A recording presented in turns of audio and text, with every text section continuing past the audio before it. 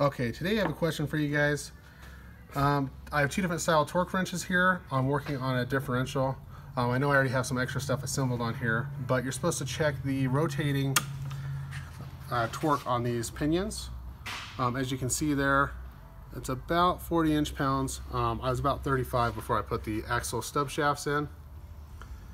So what is the difference between using one of these and the electronic style? Um, I considered getting a new one of these beam styles because this one's kind of old and worn out and I don't know if I trust it.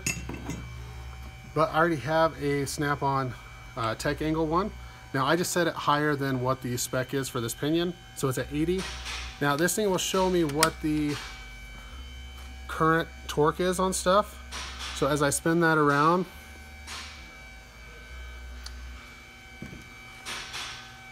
so I'm around 35, 36,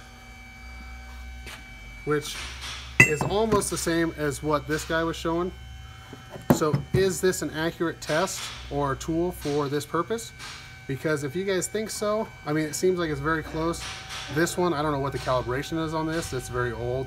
Um, it's kind of been bent around, beat up. So why should I buy another one of these when I already have one of these? If you guys have anything to add to that, put it down in the comments below. Thanks.